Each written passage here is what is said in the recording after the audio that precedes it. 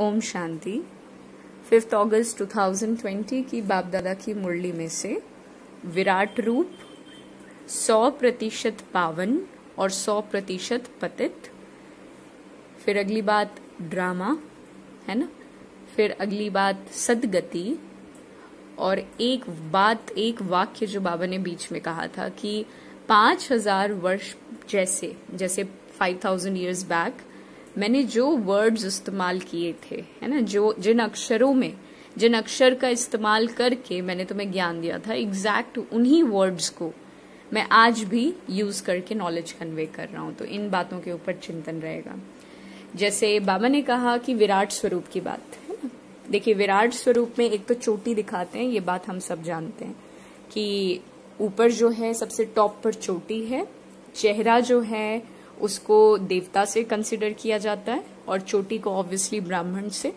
जो शोल्डर वाला एरिया है, उसको क्षत्रिय से रिलेट करते हैं, पेट वाले एरिया को वैश्य से और जो पैरों वाला एरिया है, खास करके फीट इनफैक्ट पूरी ही ऊपर से लेकर नीचे तक, उसको शूद्र माना जाता है।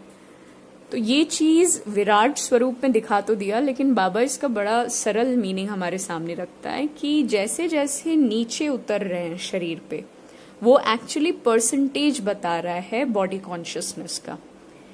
ब्राह्मणों के लिए बाबा ने आज की मुरली में इस्तेमाल किया कि ये जो संगम युग है, ये हीरे जैसा युग है तो इसका कारण है। है ना? जो हंड्रेड परसेंट सोल कॉन्शियसनेस है है ना? सौ प्रतिशत एकदम शून्य की अवस्था, परमधाम की अवस्था, वो ब्राह्मण अनुभूति करता है है ना? तो उसे चोटी से डेजिग्नेट किया गया कि बिल्कुल ज़ीरो बॉडी कॉन्शियसनेस देखिए, ब्राह्मणों को सबसे ऊँचा दिखाया जाता है। है ना? कि चोटी मतलब एकदम ज़ीरो कॉन्शियसनेस ऑफ़ बॉडी अब चेहरे तक बात आई देवताओं के लिए तो कॉन्शियसनेस नहीं है शरीर का, लेकिन अंडरस्टैंडिंग है।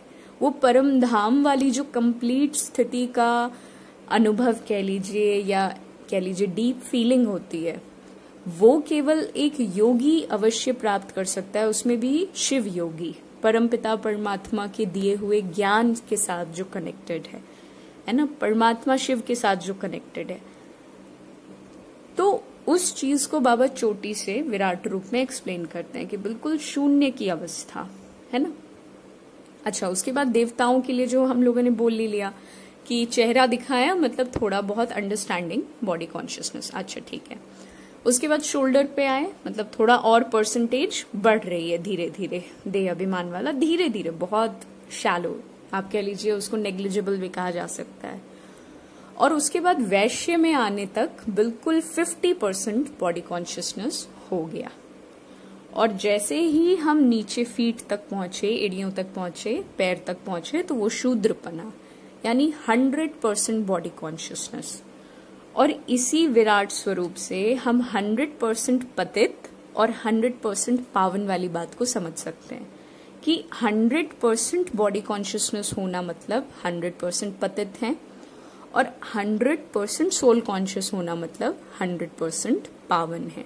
तो ये जो जर्नी है पैरों से लेकर के चोटी तक की ये जो लाइफ स्टाइल और पूरी मान्यताओं का परिवर्तन है, जो पूरे विश्व के लेवल पर होगा और हो रहा है ड्रामानुसार वो कार्य परमपिता परमात्मा इस समय सर्वश्रेष्ठ युग अर्थात संगम युग में कर रहे हैं, जिसमें उन्होंने ड्रामा को सर्वोपरि रखा है कि भाई ड्रामा का आदि मध्य अंत एक्यूरेट है, क्योंकि ड्रामा कर्मों के सिद्धांत के अनुकूल बना हुआ है, उसमें कोई वेरिएशन नहीं आ सकता। जिन शब्दों का इस्तेमाल पहले हुआ, उन्हीं शब्दों का इस्तेमाल आज भी हो रहा है। जिस रथ का पहले इस्तेमाल हुआ, उसी रथ का इस्तेमाल आज भी हो रहा है। तो अगर ड्रामा शिव बाबा और ब्रह्मा बाबा के लिए सेम चल रहा है तो हर मनुष्य आत्मा के लिए सेम चलेगा एग्जैक्ट सेम हमारा जो लाइफ है वो एक्यूरेट है, सही गलत का बाबा कहते हैं ना डेफिनेशन अब छोड़ो। एक्यूरेसी में जाओ, कि इससे एक्यूरेट ड्रामा नहीं बन सकता। इससे अच्छी स्क्रिप्ट नहीं लिखी जा सकती। यही है जो है, यही सत्य है, यही वास्तविक है। फिर इसी से इन्हीं अंडरस्टैंडिंग को जब हम कॉन्शियसनेस में रखते हैं तो उसी को सदगति कहा जाएगा। उसी को सच्ची गति प्राप्त होना। कहते हैं ना, ईश्वर की गतमत न्यारी, ईश्वर की गतमत वही जाने। बिल्कुल यूनिक है। इन बातों को जो जीता है कॉन्शियसनेस में रखता है, उसी को सदगति कही जाएगी।